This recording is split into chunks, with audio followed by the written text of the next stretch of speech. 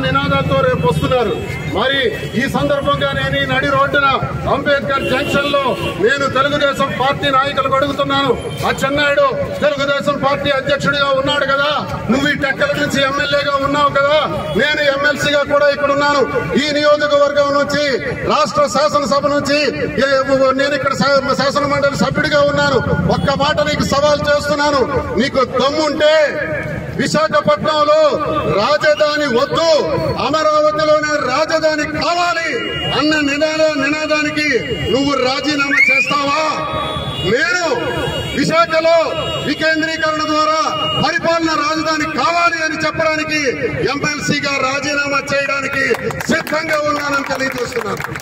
నేను ఎందుకు ఈ సవాల్ చేస్తున్నానంటే విశాఖపట్నంలో పరిపాలనా రాజధాని వద్దు అని అచ్చెన్నాయుడు కేవలం అమరావతిలోనే రాజధాని కావాలని అచ్చెన్నాయుడు ఎమ్మెల్యేగా రాజీనామా చేసి దమ్ముంటే నా మీద పోటీ చేయాలని కోరుతున్నాను.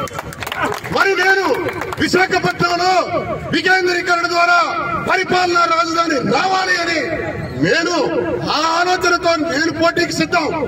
నా మీద పోటీ చేయడానికి నీ వాదన కోసం నువ్వు రాజీనామా చేయడానికి అచ్చెన్నాయుడు నువ్వు సిద్ధమా అని నీకు సిగ్గు శరం ఉంటే లక్ష ఉంటే ఉత్తరాంధ్ర రక్తమే నీలో ప్రవహిస్తే నువ్వు ఉత్తరాంధ్ర ప్రాంతీయుడివే నమ్మకుంటే ఉత్తరాంధ్ర అమ్మ నాన్నకి పుట్టావని నమ్మకం ఉంటే సిగ్గు లక్ష శరం ఉంటే నువ్వు రాజీనామా చేయరా అమరావతిలో రాజధాని కావాలని ఆ ఆలోచనకు నువ్వు రాజీనామా చేయి. విశాఖపట్నంలో రాజధాని కావాలని నేను రాజీనామా చేస్తాను. మన ఇద్దరం పోటీ చేద్దాం. మన ఇద్దరు ఎన్నికల్లో ఎవరు గెలిస్తే దాన్ని రిఫరెండం గా తీసుకుందాం. నువ్వు సిద్ధమా? ఇది నా పబ్లిక్ సవాల్. కక్కలి నడి రోజులు అంబేద్కర్ జంక్షన్లో అచ్చెన్నాయుడికి సవాల్ చేస్తున్నాడు.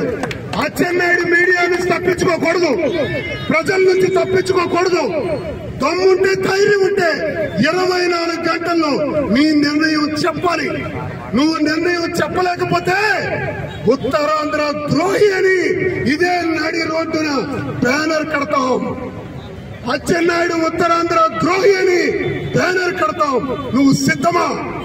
ఉత్తరాంధ్ర ద్రోహిగా మిగిలిపోతావా? లేదు పోటీకి సిద్ధమై నిరూపించుకుంటావా? నీ ఇష్టం. ఇదే నా సవాల్.